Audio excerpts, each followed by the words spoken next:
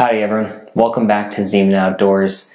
Today is part two of my bow upgrades for 2021. If you haven't already checked out my first video where I put on my new CBE Tactic sight, go ahead and check that out. It'll be up here in the corner. In this episode, I'm going to be installing a Hamskea Hybrid Hunter Pro rest. This rest is right-handed, it's micro-tune, it's a limb-driven rest, which I haven't used before, but I talked with Nate at Average Jack Archery, and he said he loves using the limb-driven rests. They seem like they're a little bit easier to install. This is actually going to be my first time trying to install a rest, so bear with me. I'm going to have to read through some of the instructions and I've watched quite a few videos of people installing these rests and think I've got a pretty good idea of how to do that. But if y'all think I've done something wrong, just leave a comment below and give me some suggestions and tips. I really like the idea of this rest being micro adjust because I currently have a QAD drop away rest on my bow right now and I do like it, but adjusting it is not really the easiest to do you know, it doesn't have a micro adjust or anything like that. You've got to get your tools out and you have to be careful how much you actually push left or right. And so for that reason, I thought getting upgrading to a micro adjust would actually be nice to have. All right, so all that being said, we're gonna take this out of the box and see what we got. So you've got the rest itself, a bolt, looks like a little pad another pad, and a little felt.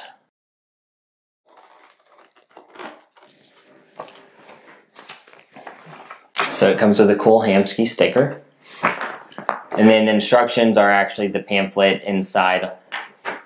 It just tells you how to set it up as limb actuated. You can do top limb, bottom limb, how to adjust the launcher angles, kind of just some notes and adjustments on how to set this up. To get this set up, you're probably going to need a tape measure, some Allen wrenches.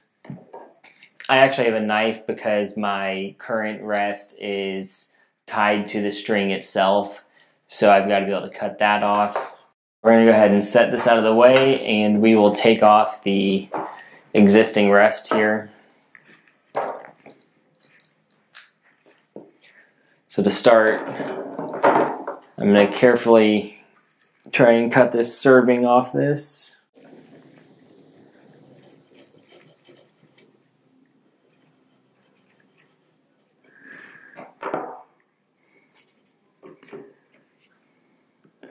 All right.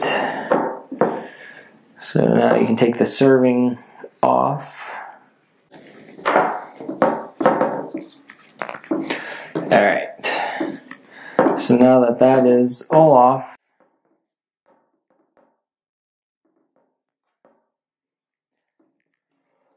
make sure you're careful not to cut your strings there.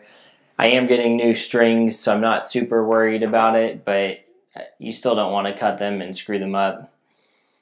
These strings aren't really in bad enough shape that I'm not going to keep them. I'm actually probably going to go ahead and hold on to them when I replace them just in case something happens to my new strings, I have these as a backup. If you really like your rest position and where it's at, you can go ahead and take a measurement from the back of your riser to the rest where your arrow would sit. And that'll give you a good idea of where you want to line up your center shot for your new rest. If you're kind of starting from scratch here and you don't really know, you can consult your manufacturer booklet. For my diamond bow, they really just said measure the front and the back and call it good. Um, I did some research online and people are saying about three quarter inch, and I think a lot of the Mathews and Hoyt bows are 13 sixteenths of an inch from the back of your riser. So it'll just depend on which bow you use. I'm not super worried about it because that'll get figured out in the tuning stage. And I am bringing my bow in to get new strings on it. And so when they do that, I'm going to have them double check the center shot for me as well. We'll go ahead and take the bolt off my existing rest.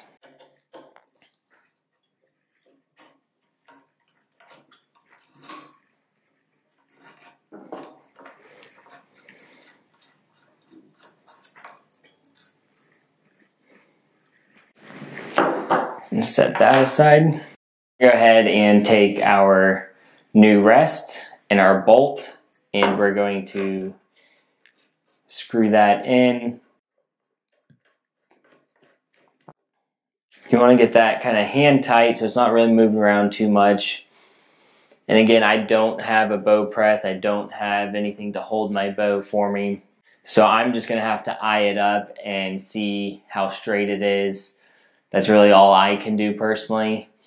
Um, but again, I'm bringing to the bow shop to get new strings on and they'll check it out and make sure it's good. You can see there's a hole here and I can just make sure that it's running parallel with that. And I think that'll give me my best bet at getting this lined up perfectly. You're also going to need to set this set screw here.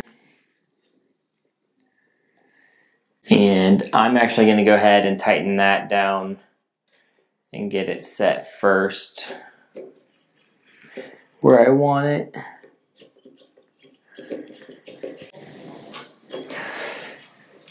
And then I'm going to come back and now I will tighten the bolt back down. And that way it won't move on you when you're tightening it. That's why I do the set screw first and then I come back and do the bigger bolt. So it looks like I should be pretty straight there. Looks pretty good. The next thing you want to do is go ahead and place your limb pad, which will go right here on your bow. They recommend two and a half to four inches from the end of your limb. Now, one thing I read is the closer you get to your limb, the faster it's going to pick up and the later it's going to drop off. And so you may have to mess with it as far as your timing goes a little bit to figure out where exactly you want it. So for now, I'm just going to measure about three inches and we'll start with that. My limb is pretty thin, so I'm actually going to cut this pad almost in half so that it fits well on my limb here. So we'll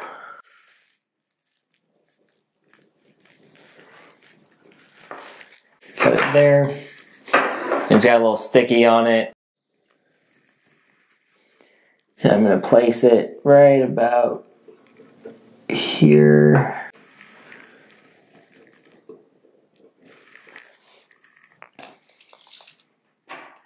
And again, I'm right around three, three and a half inches there, so we'll see how that does. The next thing I'm going to do is I'm going to loosen this tension adjuster here up a tad and see if we can get this to come off. Okay. So I took my string completely off. I'm going to go ahead and tie a loop at the end here.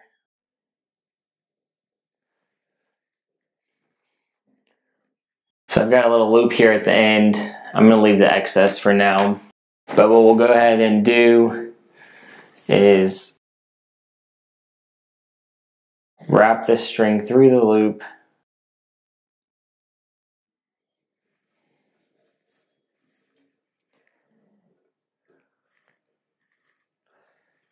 and you're going to want to put it right in the middle of your pad you got. And so that should not come undone there. You will feed your string back through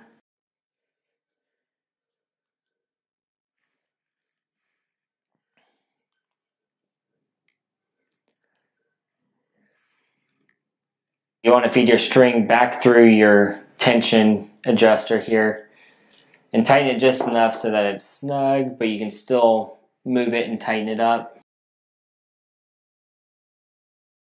One thing that I like to check before I tighten up your tension on it is I just like to look at where your arrow is sitting. At this point I have no tension on it and you can start kind of measuring your center shot and make sure your rest is where you really want it. Like I said, mine was sitting at close to 7 eighths and where it's at now is 5 eighths so I think my rest needs to come towards me a little bit. To adjust your left and right, there's a Allen wrench here on the top. And I'm just gonna unscrew it a tad. And then there's a blue knob on the right of it and you can turn it towards you, moves your rest to the left, turning it away from you or to the right, moves your rest to the right. So what I'm going to do here is measure my center shot to be three quarters of an inch.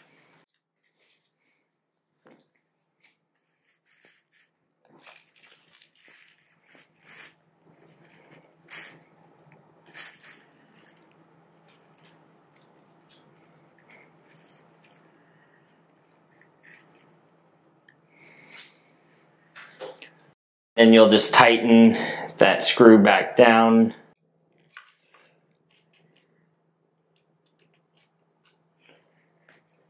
Another test, go ahead and put your arrow in and you'll measure in the front. It looks like three quarters of an inch. Then measure on the other side. And it's pretty close to three quarters of an inch. I'll say that's good for now. We'll let the bow technician, you know, perfect it and one thing too is, you know, when you start getting into the tuning process and doing walk back tuning and things like that, you're going to iron out these issues because most likely you're going to tune it into a center shot. As far as my up and down or my vertical plane, it looks like it may be a little high. You really kind of want your arrow going through that Berger button there. So what I'm going to do for that one is you can see there's a, another Allen wrench screw here that if you just loosen a little bit, and then you have a, another blue knob on the top, and you can screw that up and down and that'll help you get your center shot. Like I said, you want typically you want your center shot right at this Berger button, which is the hole where you mounted your rest. So you want it to line up perfectly right there with that Berger button. So I'm to take a look and it looks like it needs to go a tad bit lower.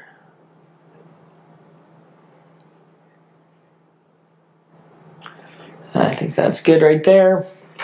And then you'll take your Allen wrench and again just tighten that guy back up.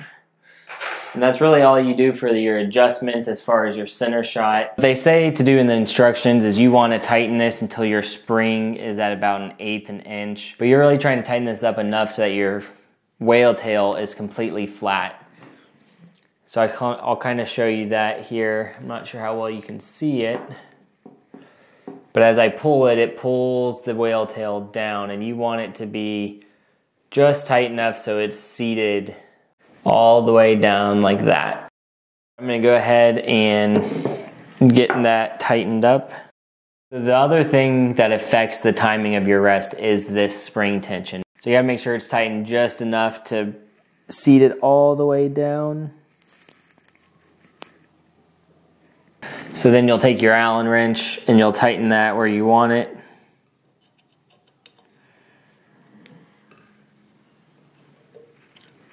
What I would do also before you cut your string is this is like any other string. If you start shooting it 40, 50 times, it may start to stretch a little bit.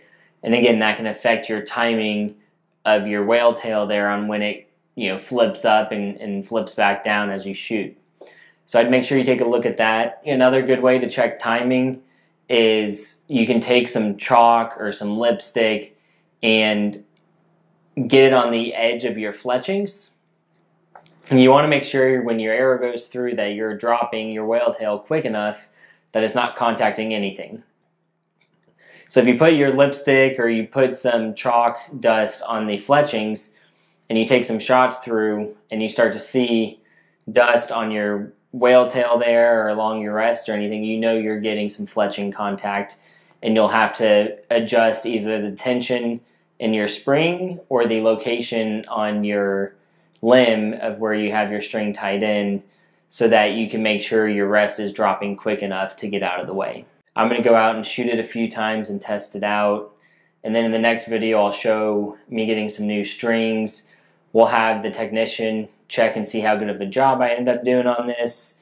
And at that point, my bow is pretty much ready for 2021. And once we get to that point, I can start testing my arrows. And I'm going to go through the Ranch Fairy process again because with all the new things I'm adding to my bow, it's surely going to adjust some things. And I just want to make sure that I have the best arrow for my bow. So go ahead and subscribe, hit that bell notification, and stay tuned for future videos. Thanks for watching, guys.